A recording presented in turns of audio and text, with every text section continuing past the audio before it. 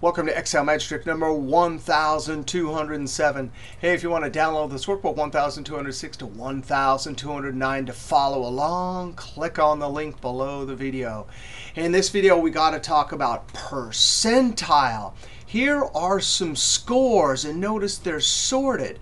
And a percentile will create a marker in that sorted list that divides the sets into two parts with about p percentage below the marker and 1 minus p percentage above the marker. So if I say the 90th percentile, what I want is a marker in this sorted list that will divide it 90% below that marker and 10% above. Now the point of this video is to look at the percentile.exc exclusive and percentile.inc inclusive.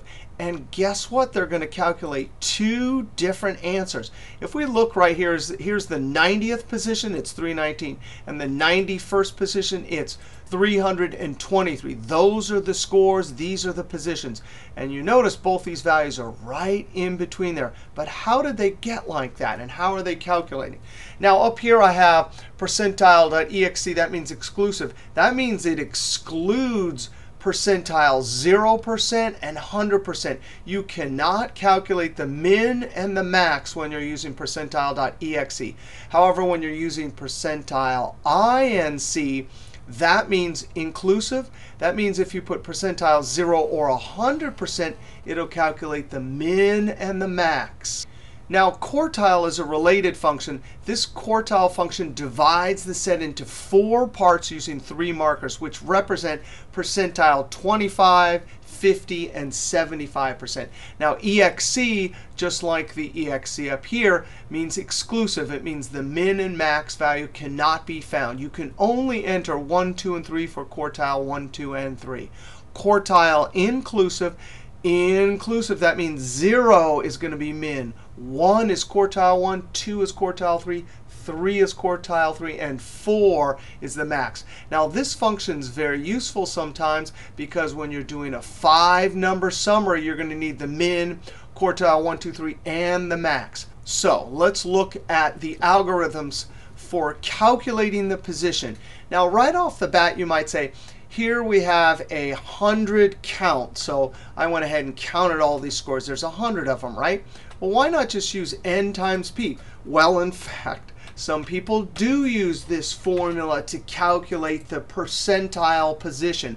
No problem. It says 90 our value would be 319. If I were going to calculate this longhand, I would just say, hey, according to this formula right here, 319 will be our marker that divides the sorted set into about 90% below and 10% above.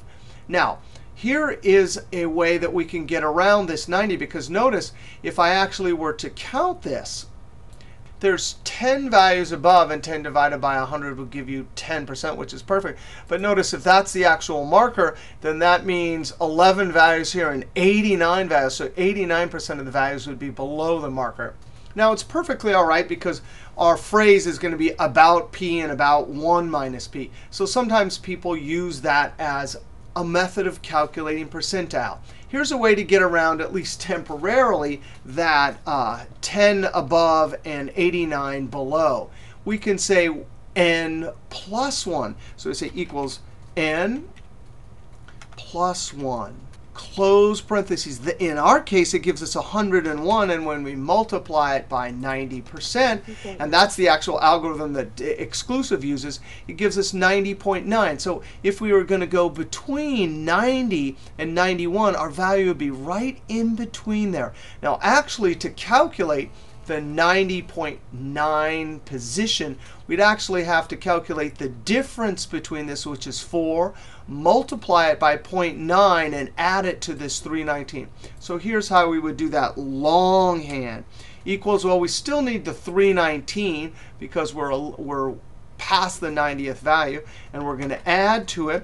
Well, we got to take the difference. I'm taking the next value in the data set minus the 90th position in parentheses, and I'm going to multiply it by that 0.9. And that will give me exactly the same value as the percentile.exclusive function. Now, let's look at the formula for calculating the position for percentile.inclusive. Here it is. We're going to take equals the actual n times the p. Kind of looks like this first one here. But we're going to add a little bit to it. And by adding this little bit, which is 1 minus the percentile, this little adjustment here will allow us to get the min and the max. When I hit Control Enter, it's actually sucking the format there. So I'm going to use the general number format to wipe it all away, which is right there. Or I can use the keyboard Control Shift grave accent or tilde. So in our case here for inclusive, we want 90.1. So the 90th 0.1 position is still between there. If we were doing it longhand, we'd say, hey, give me the 90th plus whatever the difference is, 323 minus 319 times the 0.1. 319.4. Now, in both cases, you could see we get the same exact thing. And the functions themselves, of course, is what we would do not doing it longhand.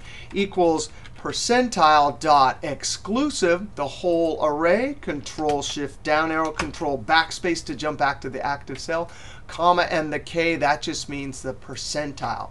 And when I hit enter, I get exactly the same thing. Now for inclusive equals PER, and I'm using the inclusive. Same exact formula, control shift down arrow, control backspace, comma this 90%. But this one will use this particular algorithm here. And so we get 319. Now let's see what happens if we change this to 0%. Instantly, we're going to get a num error for our percentile.exc because that is not allowed but percentile.inc absolutely went down, and I'm going to control down arrow, and found the min. Control up arrow. And if we look at how this calculates, right, it took 100 times 0%. So 100 times 0% is 0. So the first part of this algorithm got 0 plus 1 minus 0%. Boom, that's how we got the 1. That's the position. That's how the percentile.inc works. Now, if I change this to 100%, I still get a num error for the dot .exc because that's not allowed. But here I got 346, which is exactly the max. And if you look at this algorithm, well, n times 100% is 100. That means the position plus, well, 1 minus 100% is 0, so it adds 0. So that's how the INC with this algorithm for position can get the min and the max. Now I'm going to change this to 75% and see that here's the two positions, 75.75, so 75% of the way through the interval, right, to get the position. And this one went 25%. If we were to go down and look at the 75th position here, right, so we're going through this interval between 75 and 76th position. So we can see there's the positions, and there are the two values we get. Slightly different values. Now I wanted to do this 75% because now we can look at quartile. And I put quartile 3 over here, so I can simply say equals quartile. And EXC, you still have to highlight the same scores, and they don't have to be sorted. I only sorted them to help us see as we were doing things by hand. But top cell, Control Shift down arrow, Control backspace to jump back to the active cell, comma, and check out this drop down. One, two, three. Because it's exclusive, it's only going to allow you one, two, or three. But when I put a 3 in, that's quartile 3. Control Enter, exactly the same as percentile 75%. If we do this down here for inclusive, but this time I'm going to use quartile.inc. I and c I have to highlight, Control Shift down arrow, Control backspace, comma, and comma, and check that out. 0 to 4. So the inclusive will be polite and let you know you can do the min and the max. I'm simply going to select the 3 over here, Control Enter. Exactly the same thing as percentile.inc at 75%. Now, we want to look at the inclusive and exclusive when doing five number summaries. And actually, watch this. I'm going to do a little trick. I'm going to have to use this range a bunch, and I don't want to have to keep coming up here and highlighting. So I'm going to click the cell at the top that says scores. That's the field name or the column header. Control Shift down arrow to highlight all the way to the bottom. And instead of going to formulas, create from selection, which will create a name. I'm going to use that keyboard. You can see it in that screen tip there.